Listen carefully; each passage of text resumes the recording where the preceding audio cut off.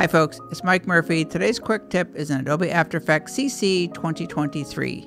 Here is how to fix an issue if you use turbulent displace and the time expression to create a line boil effect, but the line boil stops partway through your composition. Just as an FYI, if you watched my tutorial about the hand-drawn effect, you probably don't need to watch this video as the problem and the solution are identical.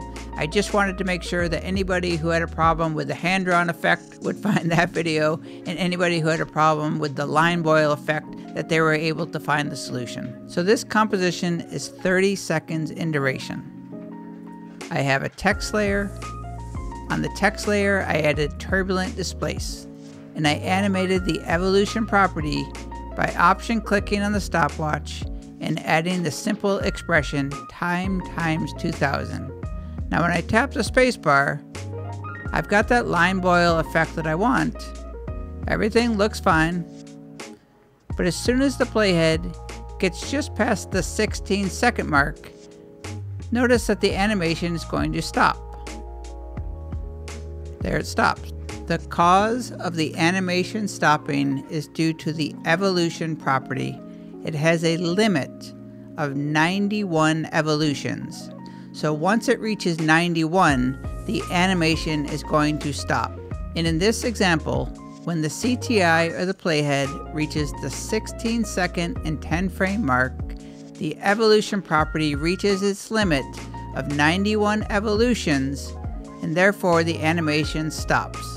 And when using the time expression on the evolution property, the bigger the number, the faster it's going to reach that 91 limit.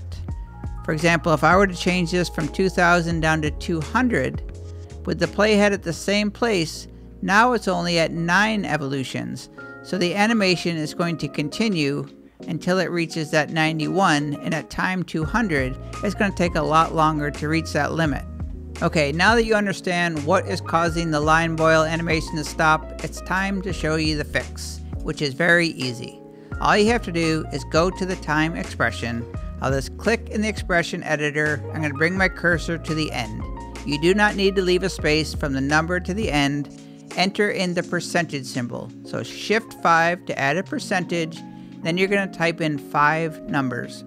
3, 2, 7, 6, 8. Click away. And now when I tap the spacebar, you'll see when the CTI goes past that 16 seconds, the line boil animation is going to continue and it will not stop for as long as you need.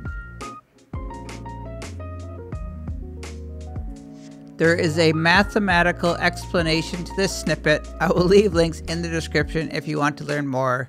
But in short, what that snippet is doing is whenever the evolution gets just about at 91 it resets it back to zero so it never hits the breaking point of 91 and it won't stop the animation. So keep this little snippet of code handy so if you're ever using turbulent displace and animating on the evolution property and your animation stops and you can't figure it out, try adding this little snippet of code after the time expression and that just might do the trick.